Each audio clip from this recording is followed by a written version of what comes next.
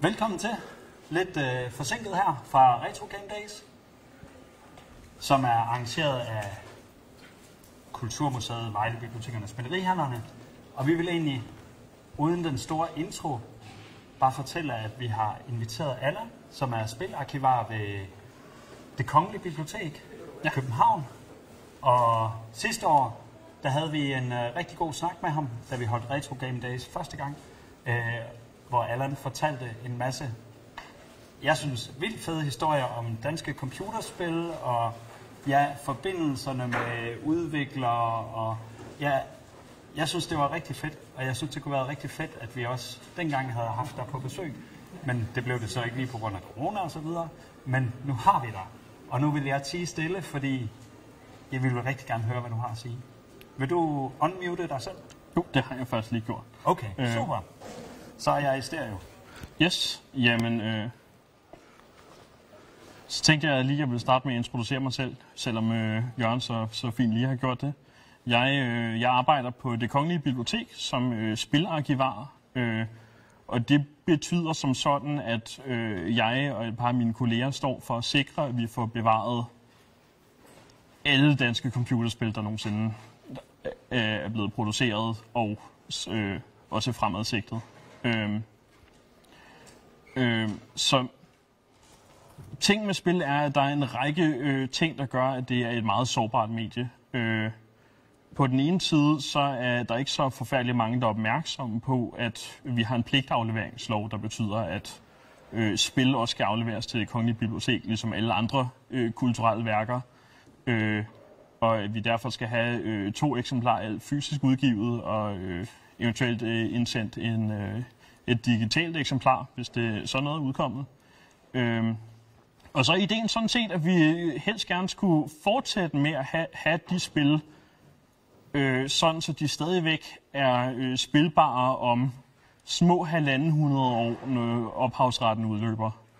Øh, og det har jo sjovt nok sine, sin egne problemer øh, for alle, der øh, nogensinde har prøvet at afvikle noget, der øh, bare 30 år gammelt. Øh, øh, så egentlig vil, vil jeg øh, i dag rigtig gerne snakke en hel masse om øh, øh, dansk spilhistorie. Øh, der er en, he, øh, vi har en meget stærk historie for computerspil i Danmark. Øh, den går længere tilbage, end folk tror. Øh, og der er ikke særlig mange, der ved særlig meget om det. Så det tænkte jeg, jeg vil prøve at rette lidt op på. Øh, selvfølgelig, hvis man skal til at indsamle en Heavy-Smash-spil, så hjælper det at vide, at ting har eksisteret. Øh, det er sådan lidt første skridt til, til indsamlingen, og derfor sidder vi aktivt og holder øje på Twitter med folk, der skriver på øh, hashtag DKGame, og samtidig sidder jeg og søger i øh, gamle computerblade for, hvad folk nu har, har skrevet, at de, øh, de sælger per postordre på bagsiden af øh, uafhængige computer fra 80'erne eller sådan noget. Øh, og så prøver jeg at, øh, øh, vi at lave sådan en komplet registrant over alt, hvad der eksisterer og har gjort det.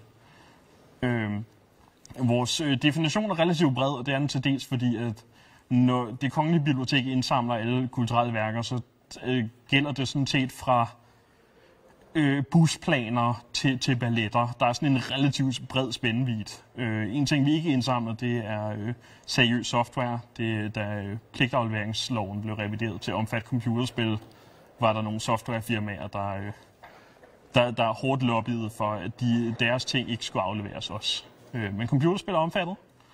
Øh, og en af grundene til, at det, det ligesom er rimelig vigtigt, det foregår lige nu, det er som sagt, at sådan nogle øh, computerspil har en relativt kort levetid.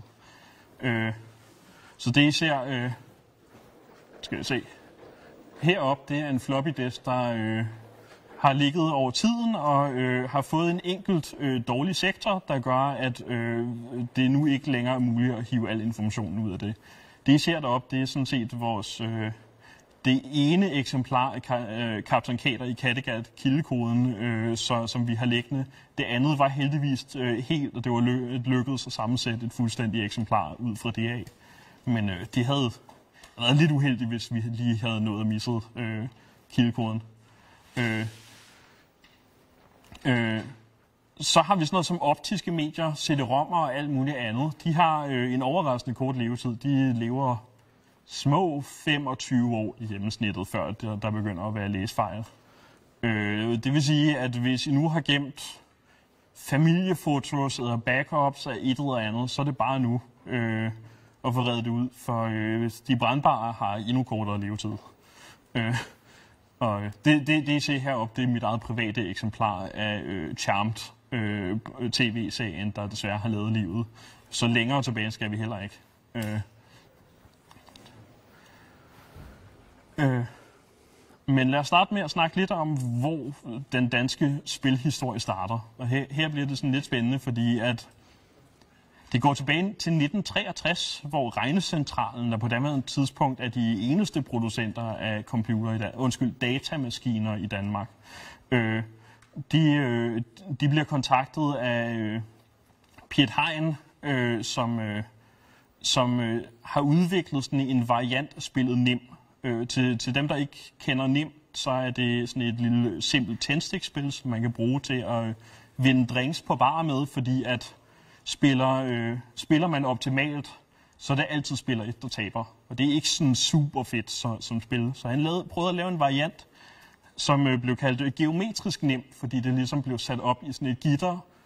Øh, og der kontaktede han så regncentralen og sagde, det, det vil sådan en elektronhjerne være rigtig god til. Øh, så øh, det blev der sat en øh, ny øh, uddannet øh, ung øh, matematiker, øh, Søren Laversen, til at udvikle. Og det blev så til sådan et fint bræt, der blev så ligesom øh, løjet fast på, på øh, nogle af øh, gange- og divisionsregistrene øh, øh, øh, registrene i, i øh, eller hukommelsesbankerne i, i den her GER, øh, Geodetisk Instituts elektroniske regnmaskine.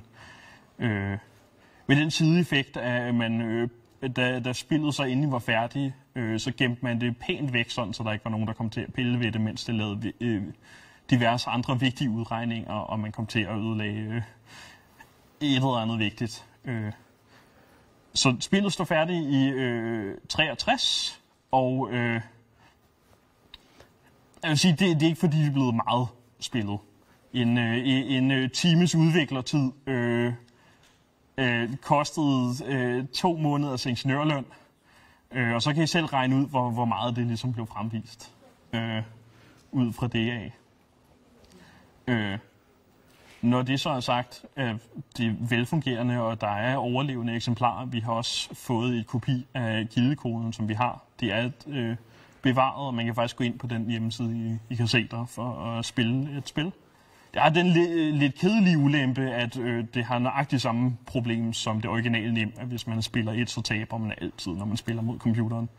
Øh, der er ved at råde til, at man lige snyder, og så klikker man op på, på øh, øh, øh, svarknappen, inden man trykker på noget, og så tvinger man computeren til at være den første spiller. Så har man en, ligesom en chance. Øh. Hvem jeg så har fundet ud af inden for det sidste års tid, eller sådan noget, det er, at der faktisk var et andet spil, fuldstændig uafhængigt af det, i en anden afdeling af Regncentralen samme år, der udkom. Og det hedder Geo, eller 20 spørgsmål til professoren. Jeg vil egentlig ikke sige så meget om det. Jeg vil bare gerne lige vise et lille øh, klip, øh, der blev sendt på øh, øh, Danmarks Radios øh, kanal i 1966, hvor det blev spillet. Og så får I nok en idé om cirka, hvad det går ud på.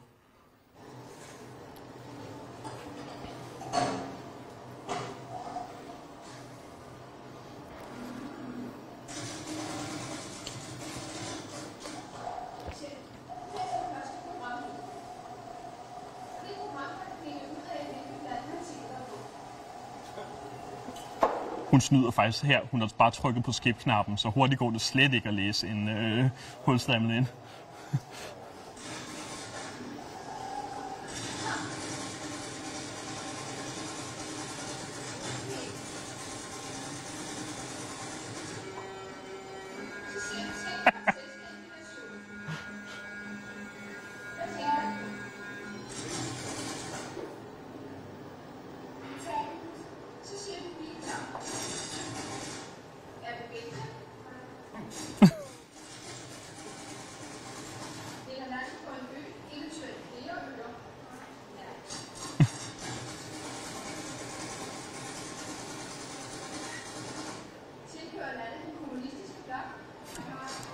Og en engelsk udgave af spillet, som øh, havde ændret det spørgsmål. Det var de ikke så populære øh, glade for i Polen. Altså, så skal man lige være lidt stærk i sin geografi.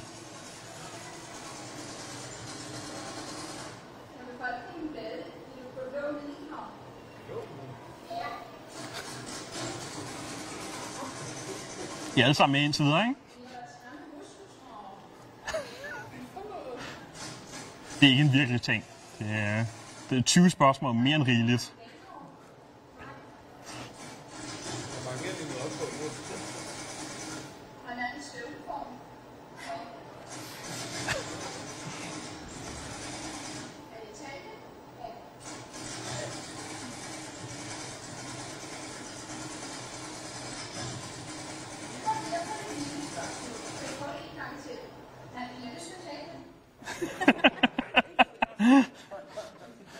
Så ja, det, var udviklet af en, øh, en øh, sælger, som Regncentralen havde, havde ansat. Øh, øh, øh, Hans Jørgen Hjort, der, øh, der vidste, at der var en kommende kontorkonference, som, øh, som de gerne ville fremvise et eller andet til. Og det er lidt mere spændende, end folk bare kommer med deres regnestykker, og så kan, kan øh, computeren få lov til at vise, hvad den kan.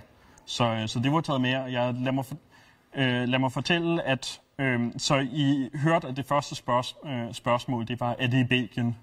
Der var 20 spørgsmål, og det bare handler om at gætte land, så det er relativt simpelt lige at kaste det første afsted på et eller andet. I det her tilfælde, der er det faktisk øh, Gær, der viser, hvad, hvad den kan, fordi uh, den øh, lærer faktisk, hvad folk har svaret til senere gange, og så øh, tilbyder, øh, så kaster den bare en af de mest efterspurgte øh, lande afsted, som det første spørgsmål. Øh, og jeg lader mig fortælle, at øh, til visse konferencer, hvor man havde det med, der øh, var nogle folk, der anklagede dem for at snyde, fordi der står jo normalt en sælger ved siden af og øh, vejledte en. Og øh, man blev bedt om at sige højt, hvad det var for et land. Øh, normalt øh, blev det selvfølgelig løst af, at man fik lov til at prøve en gang til. Øh, men der var en enkelt gang, hvor øh, der var en fyr, der fik gættet sit, øh, sit land to gange i træk i første spørgsmål. Han var ikke sådan helt til at hugge og stikke i. øh, så det var 1963. Så er det faktisk en lang periode, hvor vi ikke rigtig kender til noget dansk, og det er jo sådan lidt trist. Op igennem 70'erne, der øh, vi har en række af sådan øh, enkeltspilskonsoller, sådan noget Pong eller øh, lignende, som øh, man har kunne købe i diverse, øh, som elektroniksæt det meste af tiden. Øh, og altså indholdet var jo ikke dansk. Det, det var jo noget, noget, øh, en chip, som var importeret, og så var det sat i, og så stod der et dansk firmanavn på. Men øh, ikke desto mindre er det ligesom, hvad vi har øh, og kender til. Øh, hvis der er nogen, der tilfældigvis øh, kender nogle af de folk, der, øh, der arbejdede på, på eller øh, studerede på øh, datacentre øh, tilslut, øh, tilknyttede universiteter, så var det ligesom der, det foregik i den periode. Det er bare ikke rigtig blevet nedskrevet nogen steder. Så øh, vi er dybt afhængige af, at der er nogle folk, der rækker hånden op og siger, at de har lavet noget, for at vi kan få dokumenteret, hvad der har været. Til gengæld i 80'erne, der har vi jo, øh, øh, hvad vi længe troede var det, det første danske computerspil. Øh, øh, det er det ikke. Øh, det, øh, det er fra 85 af, og øh, var til IBM PC. Det er lavet af en IBM-ansat, øh, øh, Peter Ole Frederiksen, der, øh, der havde siddet derhjemme og spillet et spil på ZX Spectrum, og så tænkte han, det kan jeg også gøre. Og så lavede han et øh, spil til, til IBM PC, øh, der kørte PC-DOS. Øh, og øh, der prøvede han lige at spørge IBM, om det var noget, de eventuelt ville have lyst til at sælge, og det var de dybt uinteresserede i. Øh, så i stedet for rendte han ned til hans lokale øh, øh PC-forhandler øh, og sagde, hey, jeg har nogle disketter her, Hvad, vil du ikke give det med, når folk køber det? Og så i spillet havde han sådan en lille linje om, hvis man synes, det var fedt, så kunne man jo øh, eventuelt overføre ham en 50'er på hans, øh, hans bankkonto. Eller øh, man kunne købe et eksemplar af kildekoden til 300 kroner. Øh, det var der faktisk en, øh, en øh, kommune, har jeg lavet mig fortælle, der, der, øh, hvor at der var en, øh, en flok kontorarbejdere, der sendte ham 300 kroner, fordi at de argumenterede, at de havde brugt så mange arbejdstimer på at sidde og spille Captain Caber, at det skyldte de jo nærmest efterhånden. Øh, så øh, det er faktisk lykkedes os på det kongelige bibliotek at finde øh, overlevende kildekode til spillet, som vi har gjort tilgængeligt på GitHub, hvis, øh, hvis man gerne vil, vil prøve at rode med, med gammel basic-kode. Øh, eventuelt fikse den bug, der er i spillet, som øh, var fælles for alle spil til den maskine, som var, at øh, spillets hastighed var baseret på klokfrekvens, fordi der ikke var nogen form for timing-funktion. Så øh, det meste af tiden gør det ikke nogen forskel, fordi spillet var designet til hans unger derhjemme, der ikke skulle have nogen undskyldning om, at man ikke lige kunne gå fra spillet for at øh, øh, tage opvasken. Så derfor er det hele turbaseret. Men der er sådan et lille minispil, når man skal i havn, øh, som øh, går voldsomt svært øh, hurtigt på moderne computer. Øh, og skal man lige huske at trykke på turbo-knappen, øh, og, øh, så det kører som en gammel computer. Øh, man kan også spille det på Internet Archive, øh, hvor jeg har lagt det op direkte i browseren, hvis man er so inclined. Men hvis Kaber ikke er det første spil, så har vi jo øh, spørgsmål om, hvad... Ja, vi, vi snakker selvfølgelig om, at, at øh, spillene til Gær var, men det var ikke det første, der udkom, som man kunne købe. Der har vi så til gengæld en mulighed med Erwin Neutzsky Wolf, som nogle af jer måske kender. Øh, han var øh, sci-fi-forfatter og filosof og øh, kuldleder. Øh, øh, og øh, han, øh, han udgav også en række bøger om at lære at programmere, programmere spil i BASIC til nogle af de her tidlige mikrodatamater, som det hed. Øh, og øh, mange af dem indeholder sådan start med at øh, lave dit eget computerspil og sådan noget. Øh, som er argumenterbart i, hvor stor grad vi kan kalde det for en spiludgivelse. Men han havde også et par spil på, på bånd til den tidlige ZX81, øh, og det til dato ikke lykkedes at finde et overlevende eksemplar. Så hvis der er nogen, der ligger inde med et, så må de meget gerne lige, lige sende en mail eller et eller andet, så, så vi kan få det reddet. øh, tidligere end det har, har vi øh, nogle andre ting. Så øh, hvis man er bekendt, bekendt med Heilsberg-brødrene, Anders Heilsberg og Thomas, så øh, er de sådan rimelig store navne i øh, øh, det at lave øh, programmeringssprog. Men øh, de startede faktisk tilbage i 1979-80 med at øh, lave spil til en gammel øh, sådan byg selv computer, øh, NASCOM, hvor man ligesom fik et sæt og selv satte sig og samlede og sådan noget. Øh, og de havde så det her firma Blue Label Software, som øh, de lavede et par tidlige spil til. Det var ikke øh, banebrydende øh, øh, dansk design. Det var en kopi af Pac-Man, og det var et øh, en eller anden form for øh, Star Wars-spil, som vi ikke øh, desværre har, har nogle øh, øh, overlevende eksemplarer af. Men så var der også en, øh, en god ven af deres, øh, Kåre Danielsen, der lavede et skakspil, Logichess, som startede med at se sådan derud. Meget, meget basic. Øh, og øh, han udviklede sig videre på det, så I kan se, der også er en, øh, en version 2 hernede. Og øh, det var sådan set noget, han synes var fedt nok til, at han satte sig og fandt ud af, hvordan han fik det stoppet ned i en lille chip, sådan fysisk. Øh, og den, øh, den blev så stoppet i nogle, øh, i nogle skakcomputere, der kom i salg i øh, 83. Og øh, man kan stadigvæk købe skakcomputere, hvor den sidder i. Så det, øh, det er jo noget af en levetid for et dansk spil. Øh, Så er der sådan særlige ting, så øh, BR Legetøj var rimelig tidligt ude med, med dansk computerspil. Der, der eksisterede nemlig, øh, i, kan huske, jeg snakkede før om øh, ZX81, som var sådan en relativt populær i den sådan helt tidlige ende. Øh, men øh, det viser sig, at der var øh, et øh, sted i Hongkong, hvor at, øh, de havde fundet ud af cirka, hvordan man klonede den her øh, computer, og så lavede de sådan nogle billige kopier, som øh, man så kunne få sit eget firmanavn stoppet på øh, og, og så kunne sælge i sin egen som sådan en unik, det her er vores øh, computer. Øh, så ud i Danmark, der blev den solgt i Bilka og BR Legetøj og et par andre steder under forskellige navne. Øh, Lambda 8300 og sådan noget. Øh, og lidt unik for den, det er, at der faktisk udkom en bunkespil lavet af danskere til den. Øh, og det er sådan noget... Øh, øh, Peter Gjørup lavede en hel masse. Peter Gjørup er øh, fra Gjørup-familien, der... Øh, der er dem, der kører øh, toptøj, BR legetøj, sådan noget. Og han, øh, han startede med at lave det selv, og så øh, senere øh, tog han det med sig, da han øh, joinede øh, familievirksomheden. Og øh, de begyndte at udgive ting under navnet øh, Power 3000, som maskinen hed.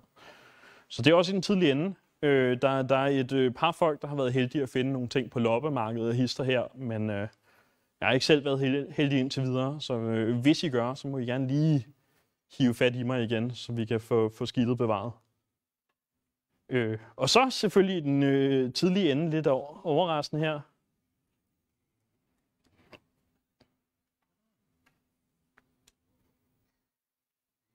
Ah, det er jo pænt stærkt.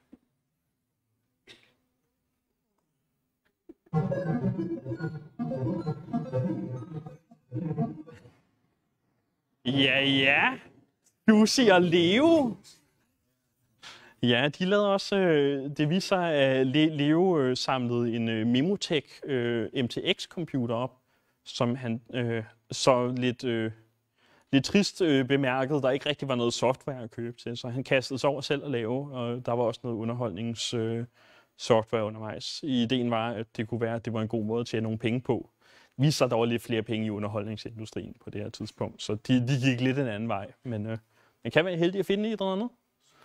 Øh, altså i forhold til sådan en rigtig indflydelsesrig dansk øh, øh, computerspil, der er det første store firma, vi har at gøre med, det er Keleline, som er lavet af en ung øh, 19-årig knægt, øh, Kjeld Jensen, der reklamerer rundt omkring for, at øh, om ikke folk vil komme øh, og lave computerspil for ham i hans firma, øh, og så le- simpelthen leve af at lave computerspil var en rigtig øh, en god bunke unge øh, drenge i demoscenen, der synes lød super fedt.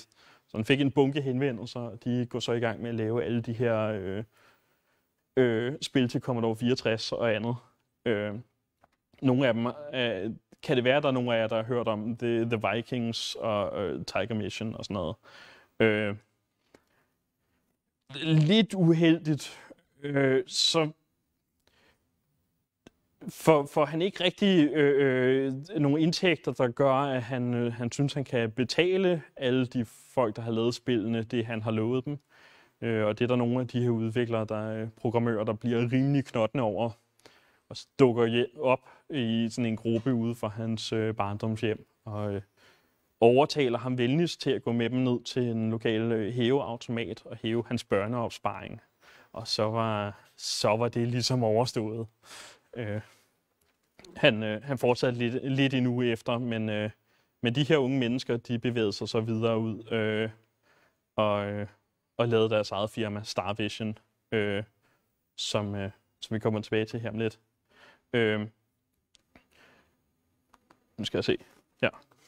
Så, øh, så Star Vision er... Øh, når udgive et enkelt spil, øh, MACH, øh, og øh, så finder de ud af, at øh, rent pengemæssigt går det sgu ikke skide godt til at fortsætte det her. De havde lidt satset på, at Ivan Sølvason, øh, som var editor på øh, uafhængig computer, skulle, skulle stå for at være pengemand, men øh, det blev det ikke så meget til, så, øh, så de tager en bunke øh, rødder afsted til en øh, demo øh, party af en eller anden art, og fremviser det, de har arbejdet på, øh, et spil kaldet Sword of Sodan. Og der er en, øh, en øh, en øh, hvad hedder det, spilproducer fra USA, der øh, venligst foreslår, at de kan tage med ham tilbage til USA, og så kan de lave spil hos ham øh, og få det udgivet der øh, og blive betalt for det. Så det lød jo meget godt. Og øh, som konsekvens deraf, der får vi faktisk en lang periode, hvor der er en hel masse danskere i, i USA og, og andet sted, der, der laver spil. Øh, både Sword og Sodan, som jeg nævnte, men øh, de havde jo alle sammen venner i demoscenen, så der var en masse folk, der ligesom derfra, der tog videre og lavede øh, øh, Elder Scrolls-spillene for eksempel der i starten. Øh, øh, så det er jo meget spændende, øh, og, og det, er, det er jo sådan noget, vi også vil betragte som Danica, altså hvor der er et øh, stor mængde øh, dansk indhold, sådan kreativt, og noget, vi indsamler. Øh, Herhjemme til gengæld, der, øh, der stod øh, Ivan Sølvason tilbage med resterne af Starvision, der, øh, der ikke havde mange folk tilbage. Og øh, det betyder, at han så øh, sætter sig ned og prøver at finde ud af, hvad, hvad, hvad det så skal blive til. Og øh, han får lavet sådan en, øh, I kan se her, en plakat med, øh, med, med diverse spil, som han prøver at sælge Øh, og Nordisk Film hiver så fat i ham, fordi de har, har lavet en kontrakt med TV2, der vil opstarte. De vil gerne vise, at de er et moderne tv-kanal meget mere end DR. Og det, det vil sige, at man skal have noget moderne tv, og det er jo interaktivt. Så, øh, så de tager det her spil, øh, Snowberry, og så omdøber de det og kalder det Osvald. Øh, og så kan man simpelthen øh, i bedste sendetid i elevatoren ringe ind og på sin trykknap til telefon styre isbjørnen Osvald, der øh, hopper fra isflage til isflage. Øh, hvilket er super fedt, indtil at øh, øh, de tilbageværende medlemmer af øh, Starvision, der nu hedder Silver Rock, øh, faktisk også er lidt øh, træt af at arbejde sammen med Ivan. Øh, og spørger, om ikke, øh, om ikke de, de eventuelt kunne fortsætte arbejdet med, med TV2 uden ham, siden det jo kun var deres navn, der stod i spillet. Han er ikke super glad for, øh, og det vil sige, at det lynhurtigt handler om at sætte sig ned og komme på et nyt spilkoncept, øh, uafhængigt af dem. Og det er så derfra, vi har øh, Osvald, øh, ikke Osvald, øh, Hugo, skærmtrollen Hugo, som øh, de fleste af jer nok kender. Øh, og det går der også en stor, en masse penge i efterhånden, øh, og er nok til dato det, det danske spil, der har øh, ramt den bredeste del af befolkningen. Øh, men lad os snakke lidt, hvad de øh, særlige problematikker, der eksisterer ved be, øh, spilbevaring er. Øh, som jeg snakkede tidligere, så, øh, så er der nogle svagheder i selve mediet selv, at, at CD-ROM har en kort levetid. Øh, men der er andre ting, der ligesom kan ramme og, og blive problemer. Så øh, som jeg nævnte tidligere, så får vi to eksemplarer af alle fysisk udgivende spil. Øh, hvis vel at mærke folk er opmærksomme på, at de skal sende det til os. Og to eksemplarer sådan set, fordi at øh, der engang tilbage i 1800-tallet under øh, Københavns bombardement fra en konge, der øh, rimelig hurtigt opdagede, at det var en dårlig idé, at al dansk kulturarv kun var i København. Øh, og ud fra det øh, koncept, der har vi så øh, simpelthen et, et eksemplar i Aarhus og et i København nu, for at se, bare forøge chancen for, at ting skulle overleve, hvis der nu var en, en katastrofe. Jeg tror ikke, vulkanudbrud måske lige bliver ting her i Danmark, men, øh, øh, men øh, problem, problemer kan ligesom også stå, opstå ved bare øh, harddiske, der fejler eller et eller andet. Så vi har et system, hvor at når vi indlemmer ting i vores bevaring, så øh, genererer vi en, øh, en hashværdi øh, baseret på, på koden, som så gerne skulle blive ved med at være noget, hvor man kan genkende, øh, at, at øh, koden er præcis som, øh, som da vi genererede den hashværdi. Og hvis der er et eller andet, der ændrer sig, så det regnestykke, man bruger, øh, fører så til, at øh, den hashværdi, der genereres, øh, er ændret, og så ved man, at så er det nødvendigt at oprette fra et tidligere eksemplar, øh, og at disken er begyndt at, at være døende. Så det, det er nogle af de ting, vi gør. Der er mange andre ting, øh, emuleringsstrategier og sådan noget. Øh, og så er der selvfølgelig sådan noget med, at mange spil i dag kun udkommer digitalt. Og til PC er det ikke nødvendigvis så stort et problem, med mindre spillet er rent multiplayer. Øh, men på konsoller, der betyder det jo så, at vi skal finde en eller anden måde at få skidtet ud af, af øh, PSP'en, før øh, Sony lukker alle serverne, som de gjorde her for nylig. Øh, og der kan I se, at jeg har siddet øh, via diverse piratkopieringsværktøjer, som jeg har lånt øh, og legalt kan bruge, fordi øh, jeg er lidt øh, særligt privilegeret som øh, udsendt fra øh, det kongelige bibliotek, og har, har fundet ud af, hvad der eksisterede danske spil til PSP, og så har fået det reddet ud.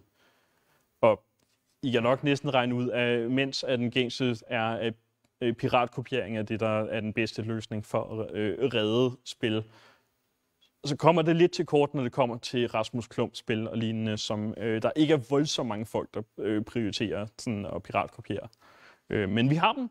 De er redde. Og det samme gør vi selvfølgelig løbende med, med andre konsoller efterhånden, som det viser sig øh, praktisk muligt med de værktøjer, som Pirat der har udviklet, og som vi så benytter. Øh, så lad os snakke om nogle af de lidt sjovere ting i forhold til, til bevaring. Så er der nogen af jer øh, herinde, der er bekendt med Art of Crime, og, og øh, specifikt de ni bud af Crimeville? Nej, lidt. Okay. Så øh, hvis det her virker bekendt, så er det fordi, I har set det i Vi Unge, eller Anders And og Company, eller Wendy, eller en bunke andre øh, danske blade til børn og unge.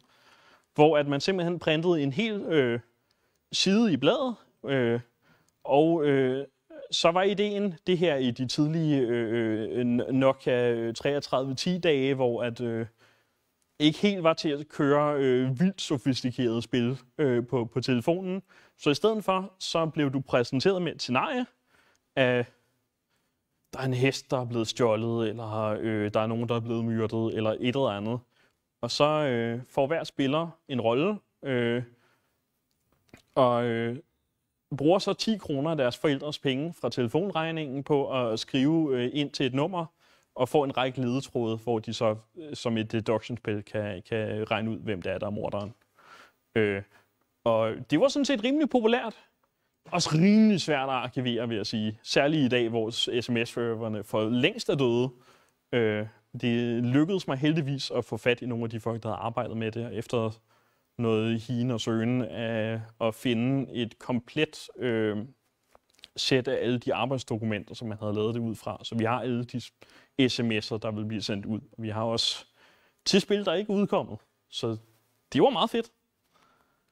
Øh, vi indsamler også alle alskens rimelig små udgivelser. Så øh, det, I ser her, det er... Øh, jeg tror, at ham udvikleren her, han var 13-14 år eller sådan noget, da han satte sig til at lave et, øh, et spil til ZX Spectrum, som øh, hans ene lokale øh, computerbix så fik øh, en øh, håndfuld øh, øh, kassettebånd med. Øh, og selve spillet var så sådan noget øh, af øh, la- øh, den onde lærer rende rundt på skolen, øh, men, øh, men, men man kan så som den heroiske elev rende ind og redde alle eleverne ud og plante en bunke bomber, og så sprænge skolen i luften. Jeg skal hilse og sige fra, fra udvikleren, at øh, det, det var en anden tid. Det er selvfølgelig ikke noget, han opfordrer nogen til at gøre. Det, det, er, jo, det er jo spil, det er jo ikke virkelighed. Øh, men øh, det lykkedes at finde et enkelt overlevende eksemplar af det her spil, og øh, vi har det nu bevaret. Øh, lignende så øh, ser I Dan Manager, som øh, blev solgt på øh, via øh, nogle øh, postordre på bagsiderne af, af nogle gamle computerblade, hvor man kunne øh, øh, skrive til dem og sende dem en øh, diskette eller et eller andet, så ville de sende øh, et eksemplar af spillet, de havde kopieret tilbage til en. Øh, og det tog noget tid at finde et overlevende eksemplar, men den ene af dem lykkedes det faktisk at grave noget frem fra en kælder af, så den er også bevaret nu. I hvert fald kommer over 64-udgaven. Amigaen er stadigvæk øh, øh, manglende. Og så har vi selvfølgelig i den helt besværlige ende her. Så øh, er der nogen af jer, der ved, hvad en set-top-box er?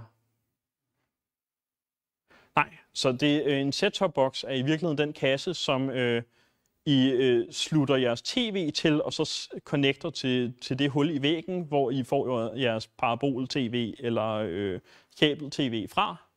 Øh, og øh, så kan I tilgå TV1000 eller Sky eller betalingsboksekampen eller hvad det nu end er. Øh, og det er meget fint alt muligt. Øh, men der var jo så det her øh, firma, øh, NDS, der opkøbte et par danske øh, inter, Interactive Television og sådan noget, øh, IT herhjemme. Øh, og de satte sig hårdt på markedet og opnåede i praksis nærmest en monopol på at producere spil til de her set-top-bokse. Øh, og den måde, det fungerer på, det er, at øh, med dit tv-signal får du øh, i rotation tilsendt informationen om de her øh, 4-5 spil, som er aktive på et hvilket som helst givet tidspunkt. Øh, og der kunne ikke være for mange, fordi så skulle du vente rigtig lang tid fra, at du vælger spillet til, at den loader det ind. Og øh, hvis du så havde det rigtige kort sat i din, øh, din ting, så du unlockede øh, indholdet, øh, så kunne du så sætte dig og spille øh, Scooby-Doo et eller andet ting, øh, mens du sad og så Cartoon Network, så du ikke skiftede væk, når der var reklamer. Og det var sådan set øh, ideen i det. det. Det, jeg har her, det er... Det lykkedes mig at finde nogle af de gamle udviklere, der øh, gjorde et stort stykke arbejde øh, i at finde ud af alt, hvad der ligesom var udkommet til det her. Øh, og så oven i købet nogle overlevende eksemplarer, som, som vi har. Og det her er det vildeste spil til det her system overhovedet. Det er øh, simpelthen bare øh, alt, hvad den her, øh, det her system kunne, kunne trække. Øh, og det var det, de havde med til alle kongresserne, når de skulle fremvise, hvor, øh, hvad de ligesom kunne, hvorfor man skulle dem. Øh, og det ser sådan her ud.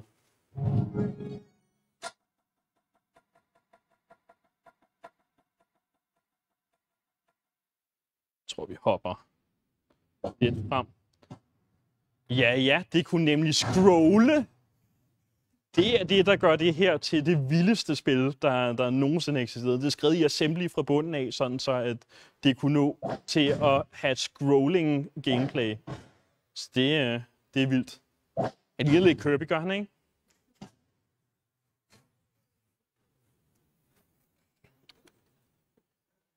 Men ja, det, det var vel i, i det store hele, hvad jeg gerne vil sige her i dag. Øh, i, og så vil jeg egentlig bare slutte af med det, jeg altid slutter af med at sige. Øh, vi vil have jeres gamle lort.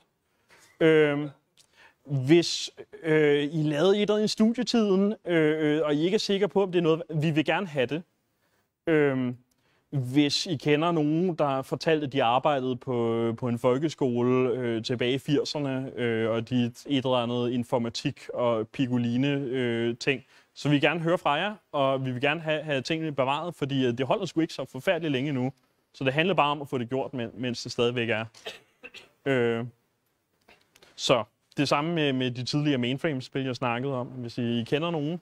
Hell, hvis I bare har en kæmpe samling af piratkopierede disketter til Commodore 64, øh, og der kunne være noget interessant imellem, så hiv fat i mig. Det er bedre, at det bliver reddet, end at øh, det ikke bliver tjekket. Øh, man kan også, øh, jeg har fået en stor mængde hjælp selv fra Dansk Datahistorisk Forening for, øh, for de medier, som jeg ikke har nogen forstand på, sådan noget til Picoline eller de tidligere GU og NIMBY, som, øh, for at sikre, at det blev reddet. Og det kan man også lige tage, tage kontakt til, hvis, øh, hvis man tror, der er et eller andet unikt, som, øh, som man har brug for at få noget af af sin, jeg ved ikke, 8-tommers disketter, man har liggende. Ja, så nu tænker jeg, at det var tid til noget spørgsmål, hvis der er nogen, der har noget.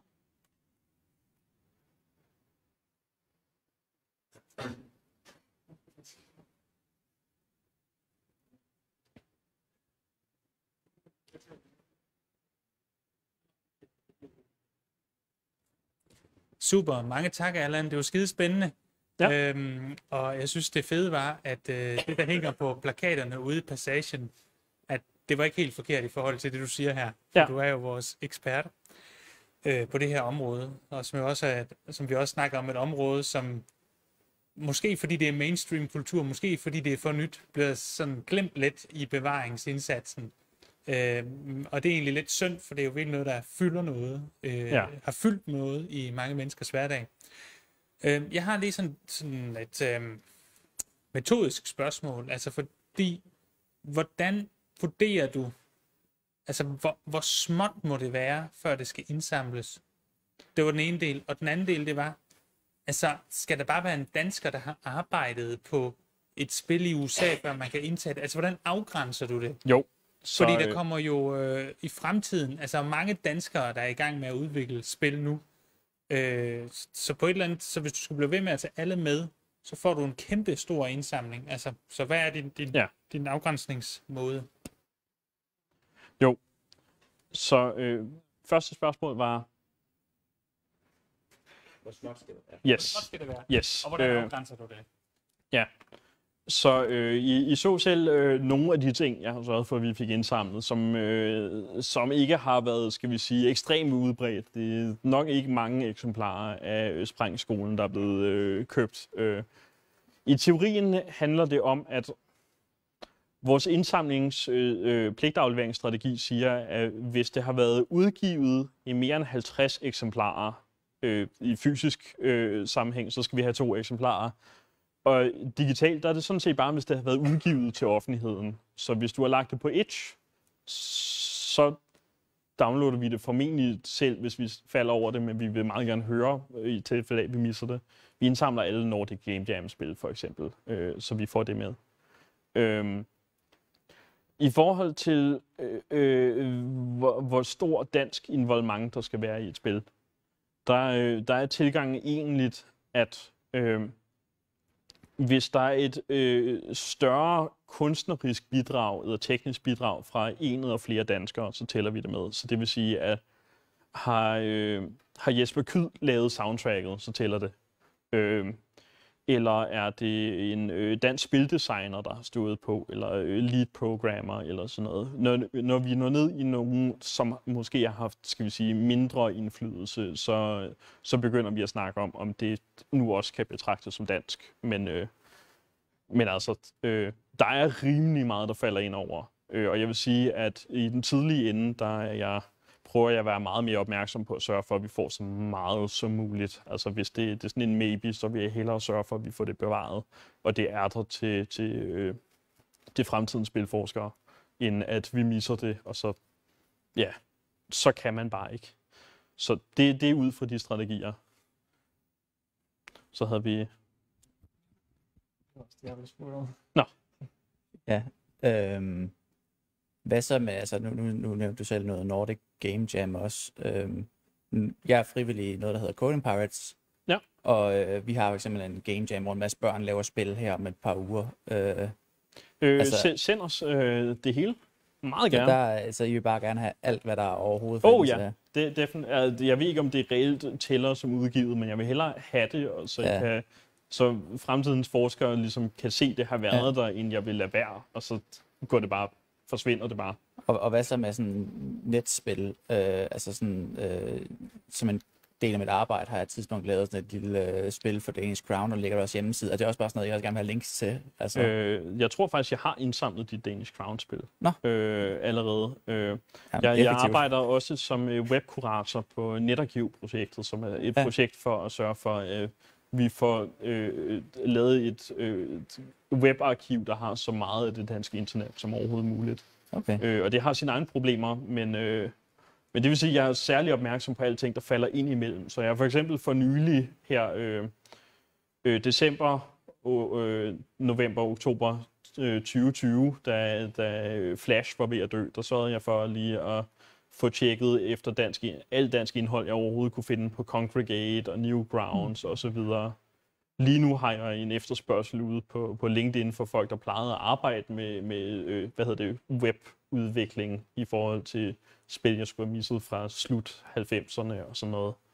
Vi prøver ligesom at få så meget som muligt, øh, og selvfølgelig nogle gange er det svært. Hundeparken er primært online, så hvis ikke infrastrukturen er bevaret, så kan man ikke afvikle det. Og selv hvis det er, så det er sgu ikke sikkert, at det er repræsentativt.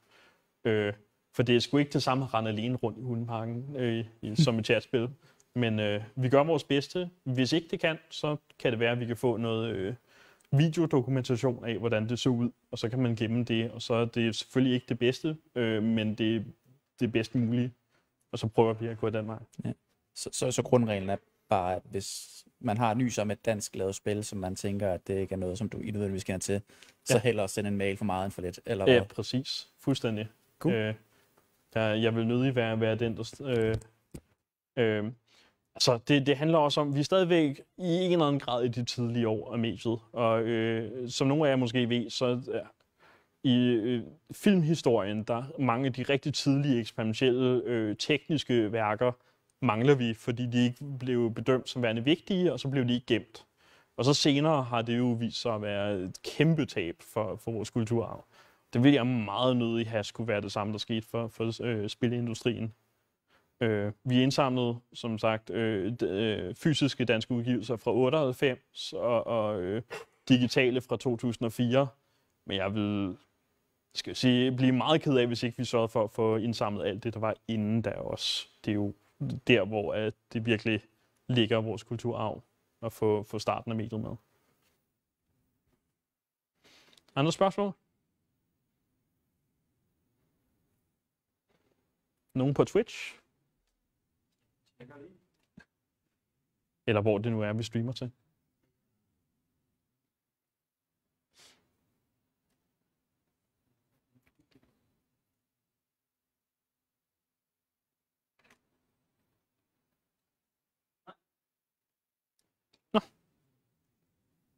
Så er det jo nemt.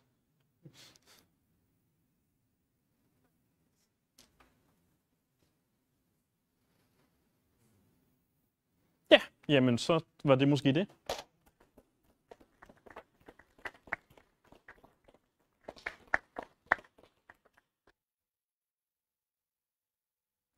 Jamen, uh, Allan, tak fordi du kom, og det var ja, spændende og fedt. Så ja, vi glæder os til at, og høre om, hvad der sker til næste år. Ja, der er jo konstant en masse udvikling. Jeg finder hele tiden nye gamle ting. Øh, det, øh, det viser sig nærmest at være en endeløs bånd. Øh, så øh, det er fedt, det vil jeg sige. Og det, det, det er super dejligt, folk er så entusiastiske for at sørge for, at ting bliver bevaret.